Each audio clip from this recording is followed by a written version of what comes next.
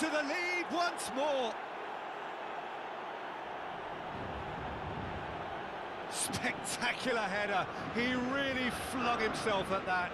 Yeah, diving header is always a pleasurable sight, and that was just about perfect.